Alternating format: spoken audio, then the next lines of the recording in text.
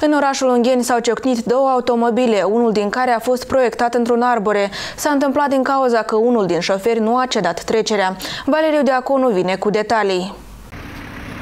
La intersecția străzilor Romană și HD din orașul Ungheni s-a produs un accident în care au fost implicate două automobile. Potrivit poliției rutiere, unul din participanții la trafic nu a cedat trecerea automobilului care se deplasa regulamentar.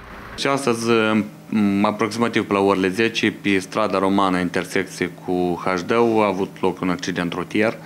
Uh, deci un autocamion uh, de model Ford nu s-a isprăvit conducerea, deci nu a cedat trecerea, nu s-a isprăvit conducerea și a tamponat un, un unitate de transport de model autoturism Toyota Corolla.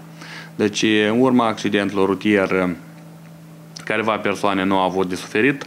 Șoferița automobilului de model Toyota susține că se deplasa regulamentar când a fost lovită de un automobil care urma să-i cedeze trecerea. Persoanele din autovehiculul care a încălcat regulile de circulație au refuzat să discute cu presa. Că eu mergem regulamentar și el, domnul cu Fordul, care trebuie să încedeze trecerea, s-a izghit în mine, cu viteză mare. De asta vă... Da. Vă zulit în pom, da? Da. Și ați avut de suferit? Am avut.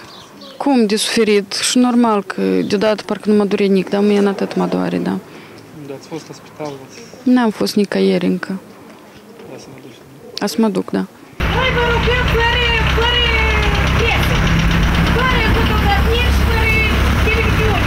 Potrivit șefului poliției rutiere preventiv, s-a stabilit că accidentul s-a produs din cauza nerespectării regulilor de circulație de către șoferul automobilului de marca Ford. Însă pe cazul dat a fost inițiată procedura contravențională, care va stabili cine se face vinovat.